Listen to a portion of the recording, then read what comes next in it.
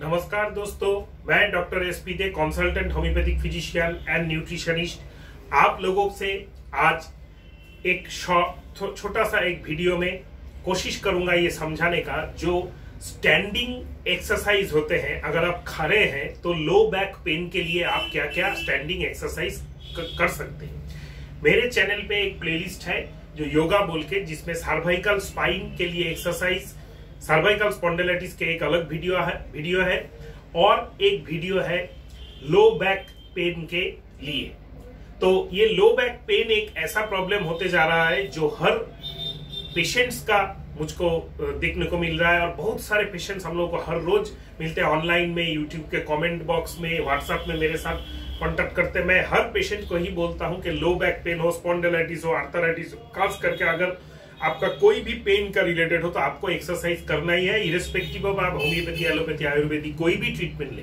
तो फिजियोथेरापिस्ट के पास जाना बहुत पैसा खर्चा करके हर दिन 600, 700, 800 रुपया दे के एक्सरसाइज करना वो जब आप एक्सरसाइज सिवियरिटी में आपका पेन होता है तब पंद्रह दिन एक महीने के लिए ठीक है लेकिन सारा ज़िंदगी आपको कुछ ना कुछ एक्सरसाइज करते रहना है। और खास करके अगर आपका लो बैक पेन है जो लाम्बार स्पॉन्डिलाइटिस के कारण होता है, उसके लिए बहुत सारे पेशेंट्स हम लोगों को क्वेरी करते हैं, क्या एक्सरसाइज करें, क्या नहीं करें। और उसके लिए तो योगा के ऊपर मेरे चैनल पे ऑलरेडी एक वीडियो है, वो आप देख लीजिएगा।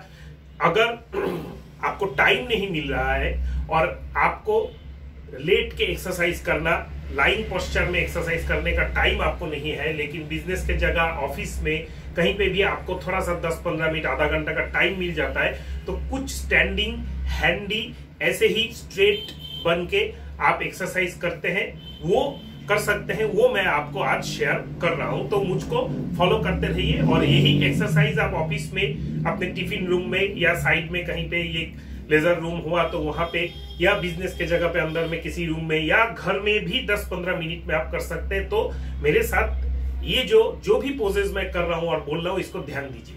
सबसे स्टार्टिंग में है शोल्डर ज्वाइंट का। आपको जो खड़ा रहना है वो है ऐसे करके।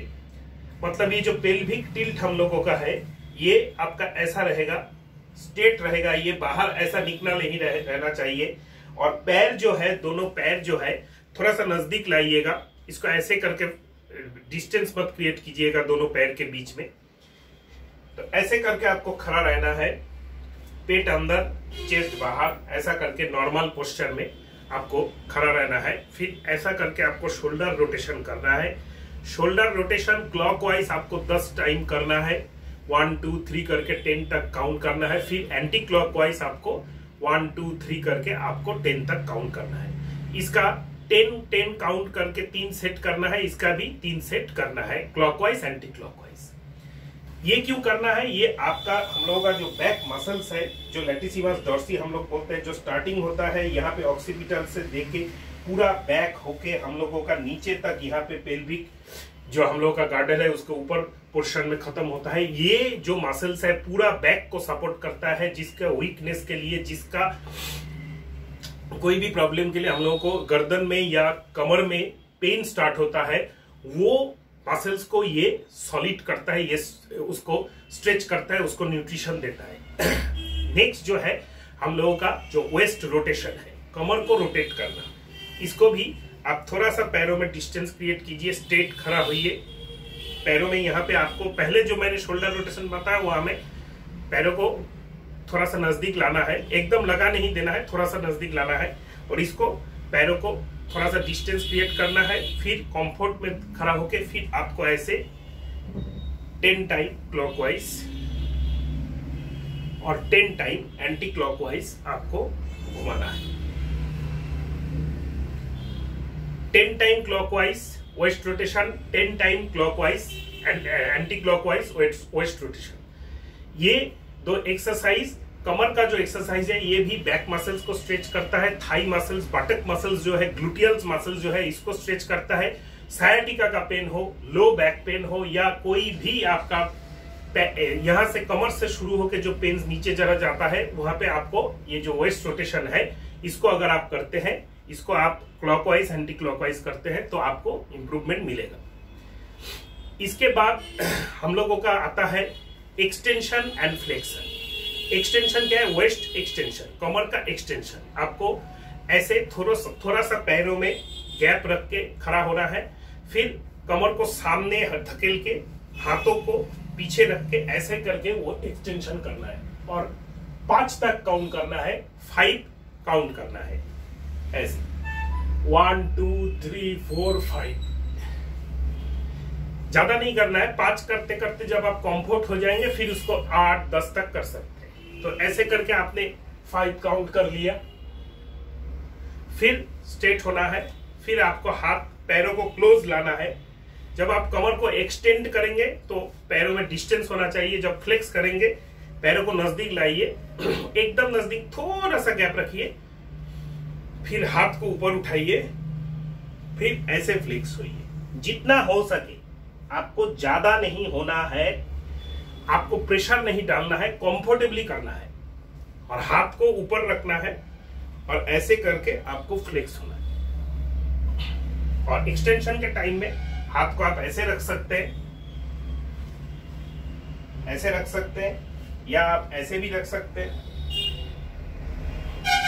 यह है एक्सटेंशन एंड फ्लेक्शन तो दो मैंने बताया shoulder rotation waist rotation extension of waist flexion of the waist अभी जो है ट्विस्टिंग ट्विस्टिंग जो है होता है वेस्ट और फुल स्पाइन का होता है। तो इसमें दो आपको पद्धति में बताऊँगा। एक हाथ को आप आप हाथ को ऐसे रख लीजिए, या ऐसे रख लीजिए, जो कंफर्ट आपको महसूस हो, और फिर ऐसे कीजिए।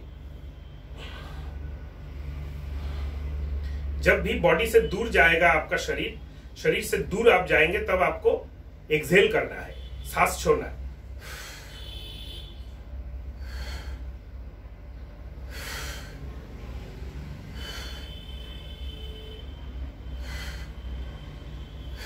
एक ऐसे भी कर सकते हैं आप ट्विस्टिंग और जैसे हाथ में आपने मैं यहाँ पे मेरा स्टेटो है, कोई लकड़ी भी ले सकते हैं या कुछ भी ले सकते हैं, तार ले सकते हैं, कोई भी कुछ भी ले सकते हैं, ऐसे करके ले सकते हैं। ये अगर लकड़ी हुआ या कोई पाइप टाइप का हुआ तो अच्छा है।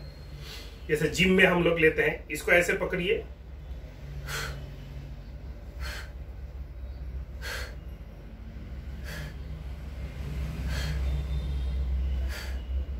ये आपका हो गया twisting of the waist and twisting of the spine. फिर मैं ये सब करने के बाद, मैंने पाँच अभी पोजेस बताए। ये पाँच करने के बाद आपका आता है और एक पोज जो थोड़ा सा मैं मोबाइल को डाउन कर लू।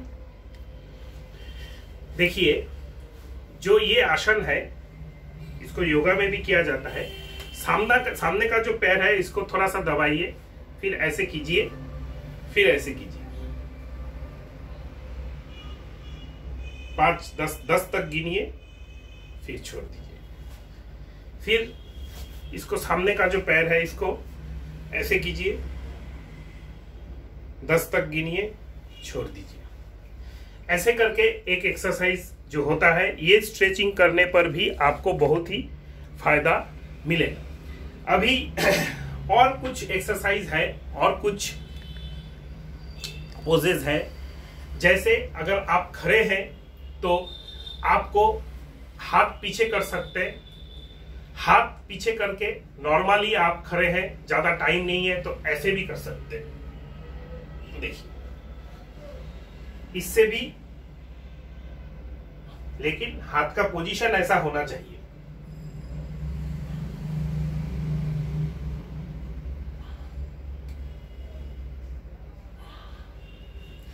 पाँच सात तक गिनिए, ये ऑफ़िस में उठ के कुर्सी से आप कर सकते हैं। इससे आपका स्ट्रेचिंग इमीडिएटली मिल जाता है। थोड़ा थोड़ा थोड़ा करके सारा दिन में चार, पाँच बार किया तो बहुत सारा स्ट्रेचिंग आपको मिल जाएगा।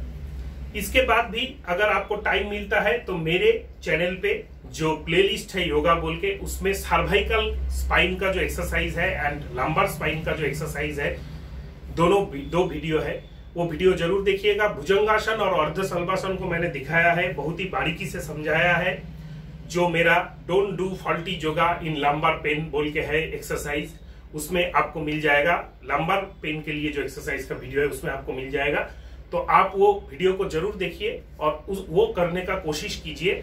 भुजंगासन और अर्धशल्वासन वहाँ पे एडवांस एक्सरसाइज भी कुछ दिखाए गए हैं। अगर आप दो तीन महीने भुजंगासन अर्धशल्वासन कर लेते हैं, कमर दर्द बहुत हद तक कम हो जाता है। तो एडवांस वो एक्सरसाइज पोजेज योगा पोजेज आप कर सकते हैं। और अगर आप मेरे चैनल पे नए हैं, चैनल को सब्सक्राइब करना, बेल आइकन को प्रेस करना मत भूलिएगा। Health related nutrition related homeopathy related बहुत सारे वीडियोस मैं आपके लिए मैक्सिमम डेज़ में कोशिश करता हूँ कि लाता रहूँ। तो अगर कुछ इस बारे में जानना चाहते हैं तो कमेंट बॉक्स में कमेंट करना मत भूलिएगा। और मेरे साथ अगर कांटेक्ट करना चाहते हैं तो only WhatsApp no call are allowed eight six one seven zero मेरा फ़ोन नंबर है। दोस्तों नोट कर लीजिएगा। Eight six one seven zero नमस्कार दोस्तों।